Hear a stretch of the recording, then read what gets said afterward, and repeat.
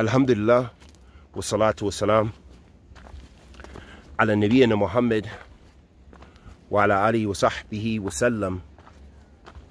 أما بعد أحببت في الله.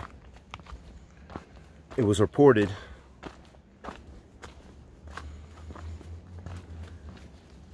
on Anas radiallahu ta'ala anhu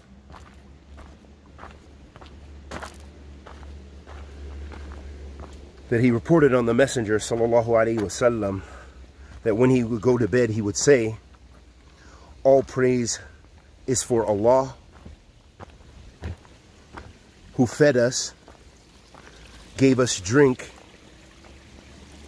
protected us and granted us refuge. For many are those who have no protectors or refuge. This shows us, ahabatifillah, the importance again of gratitude.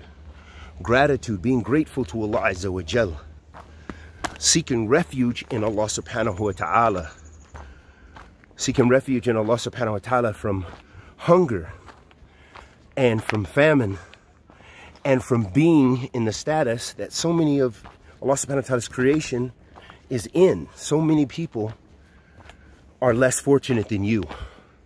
So it's imperative that the mu'min strives to be grateful to Allah subhanahu wa ta'ala by remembering him often, avoiding and abstaining from sin, and making the sacrifices for Allah subhanahu wa ta'ala.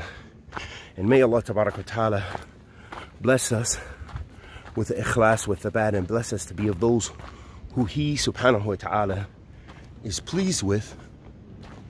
Wa sallallahu wa sallam. على نبينا محمد وعلى آله وصحبه وسلم.